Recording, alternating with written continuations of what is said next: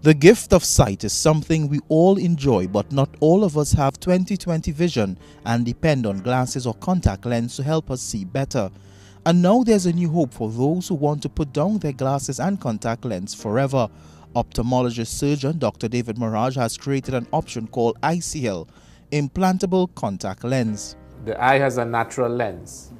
In short sightedness, when the rays of light strike the cornea, the focusing mechanisms of the eye, which are in the anterior part of the eye, focus the rays short of the retina.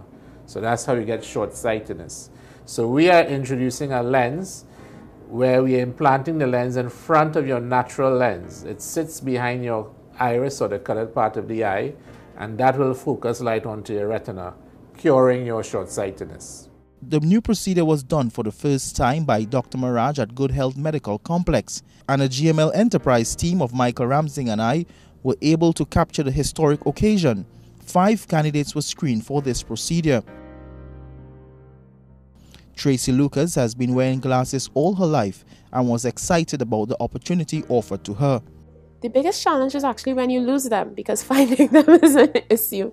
But I think sometimes it's just very limiting. I I'm a very active person. Sometimes I like dancing and yoga and riding bikes and things like that. So it's a little more to think about, um, even when you're hiking. But before she goes under the knife, Tracy has to be prepped.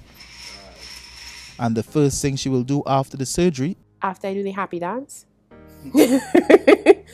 uh, continue living life, but just with less thought to whether it's an inconvenience, whether I have to work with extra contacts or glasses, or whether I could even do the things that I, I want to do.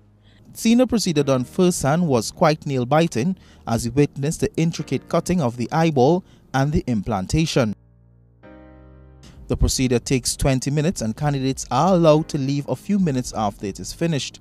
Dr. Maharaj says the procedure is a viable option and can be rated as one of the best to corrective vision. Now, this method has been around for the last 15 years, but there have always been improvements with the lens that we put in.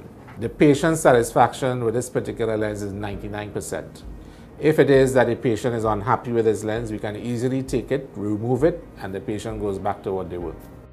The procedure is done one eye at a time. The lens are specifically made for each person and takes up to three weeks to be delivered. Locally, the procedure will cost between eighteen to twenty-five thousand dollars. Dr. Maharaj says the ideal candidate must be between the ages of 21 to 45 years old. Otto Carrington, CNC3 News, Port of Spain.